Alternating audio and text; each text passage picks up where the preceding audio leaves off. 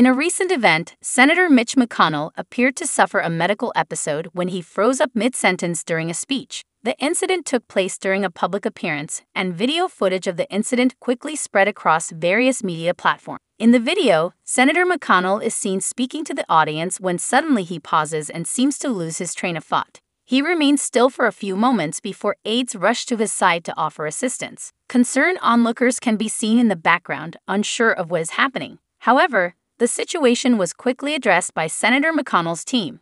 A spokesperson for the senator released a statement explaining that the episode was due to a brief bout of lightheadedness. They reassured the public that Senator McConnell was conscious and alert throughout the incident. Medical professionals were called in to examine the senator, and they confirmed that he did not require any immediate medical attention. Following the evaluation, Senator McConnell was able to resume his speech and appeared to be in good spirits.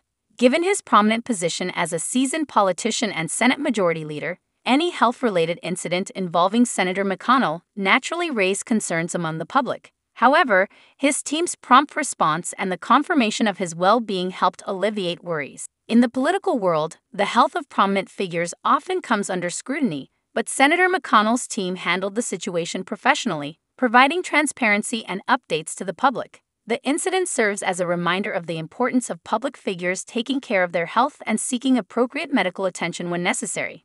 As Senator McConnell continues to carry out his duties, his well being will undoubtedly remain a matter of interest to the public. For now, it appears that the medical episode was a momentary and isolated incident, and the senator is back to his regular schedule. Overall, the incident highlights the need for public figures to prioritize their health and be open with the public about any health related issues. With transparency and appropriate medical attention, they can continue to fulfill their responsibilities and serve their constituents effectively.